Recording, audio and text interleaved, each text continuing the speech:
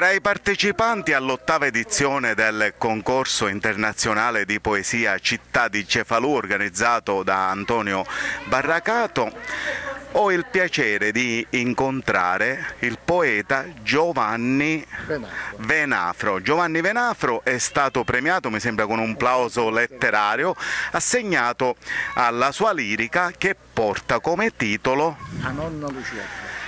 Allora, intanto da Napoli a Cefalù nella consapevolezza che la poesia non ha confini. confini. Non ha confini. Non ha confini, sì.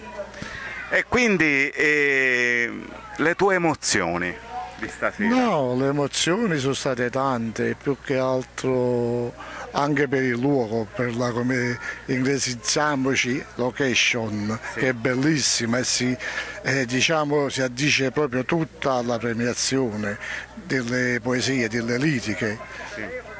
E poi c'è una partecipazione di tutto rispetto di grandi poeti, autori, scrittori in questo concorso. Perché scrive Giovanni Venafro? Ma Giovanni Venafro sono 3-4 anni che ha iniziato a scrivere, per, praticamente per esternare la vita, i propri pensieri.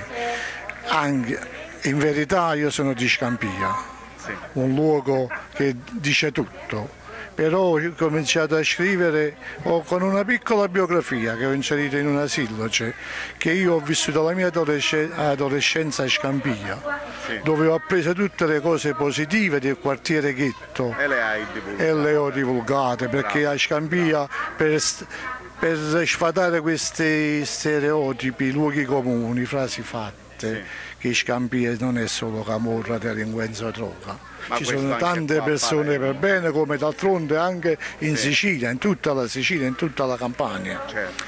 Quindi io per questo mi sono come infatti tutte le mie poesie parlano di non di criminalità, di legalità, a me parlano proprio di emo- emozioni, quelle che ho vissuto, che, che sento ancora tuttora.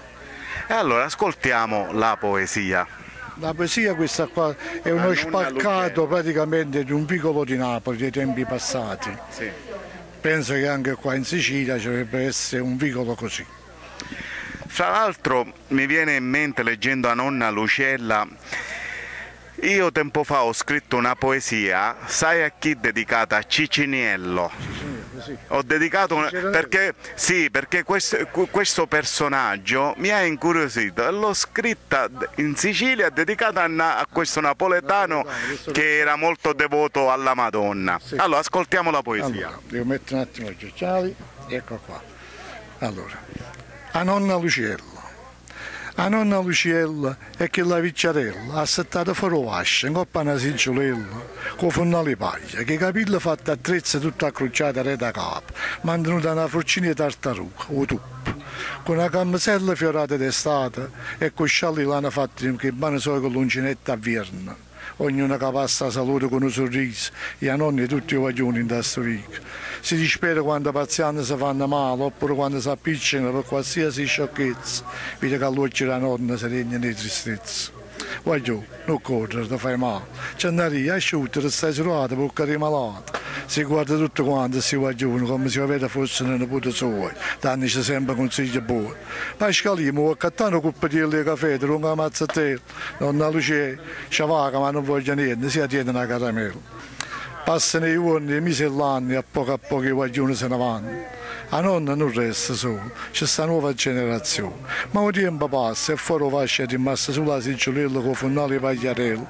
A nonna ci ha lasciato insieme ai tempo bello, povera picciarella. Bellissima poesia e da siciliano ti dico una cosa, io l'ho capita questa poesia, ormai forse perché eh, io considero molto, fruibile. sì, sì, molto, Molto fruibile. fruibile. Fra l'altro io considero, con- Cerco vocaboli eh, praticamente per, per effetto, di effetto. io considero ormai il dialetto napoletano una lingua nazionale, Sì, perché, no, si poi- perché la capiamo forse anche grazie a, a tutti questi film divulgati per esempio da Totò, Massimo Troisi, le canzoni di Pino Il Daniele. mio principio è questo qua, la poesia deve essere per tutti e di tutti, quindi ognuno la deve leggere, comprenderla, ass- eh, diciamo, assuefarla, perché praticamente non è che ci vuole la laurea, il diploma, oppure deve essere una, Certo. anche un- una persona, un della gente, del popolo, deve capirla e la deve assimilare.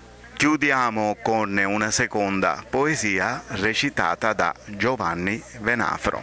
Questa poesia parla praticamente delle morti bianche, degli incidenti sul lavoro, del- della violenza che subiscono le donne in quanto mamme per questo e dell'amore eh, viscerale di un figlio Ascoltiamo Ok, la sì. poesia. e mamma. Guaglione, 16 anni, ci facevo fravigatore. Di giorno per conciare condizioni, sono caduto da coppa all'anno dal secondo piano rindano un barcone. Per guadagnare nada, faticavamo senza protezione, non si pensavano a tutta questa attenzione. Dentro l'ospedale sentivano un miele che diceva, forse è stato un malore, povero guaglione, si ci fanno un po' più camminare. Sentendo queste cose pensavo, e ci ci dice a mamma? So poco anni che ha perduto a papà è rimasto solo con tre figli a mangiare e è costretto a faticare coppa del Signore, facendo i servizi a ora. Spero che supera il stato loro e non si fa pigliare la disperazione. Ci stanno tante mamme che supportano questa croce e tante mamme che volessero portare, ma non ci sta, il figlio loro se ne è volato già. Bellissima poesia. Caro Giovanni, ti chiedo di continuare a regalarci emozioni, a divulgare la poesia per come stai facendo adesso. Grazie. Grazie, grazie, grazie a tutti voi e a te anche in primis.